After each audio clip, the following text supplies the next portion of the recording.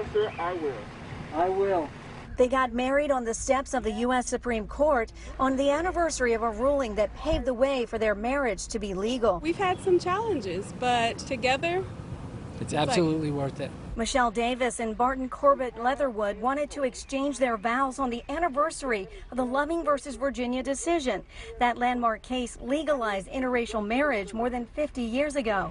They had initially postponed their plans because of the pandemic, but then she changed her mind.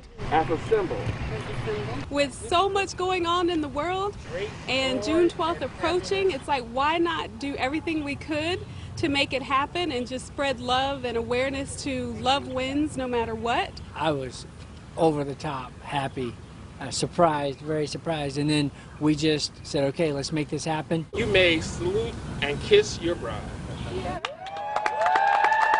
You wouldn't know it, but this all came together in just two days. From the gown and tux, hair and makeup, to the special Love Win shirts made for their friends to wear. She started inviting people just Wednesday night. Two of my friends who were here, they immediately started booking their plane tickets. They flew in yesterday, and the rest of them, they canceled everything and showed up for us. And so, again, it's really symbolic of what happens when you pull people together in love. It's been a very exciting and rewarding, emotional, and great experience. They're not going to have a honeymoon in the middle of a pandemic. They're going to spend their wedding night continuing to fight for equal rights.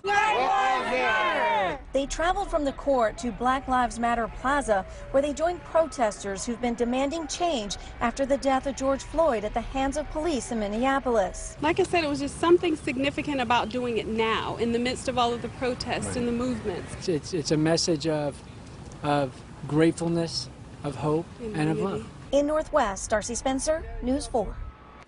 Congratulations to them. You know, they streamed their ceremony live so family members who couldn't be in town to watch could watch. The newlyweds plan to take their honeymoon in Europe when it is safe to travel.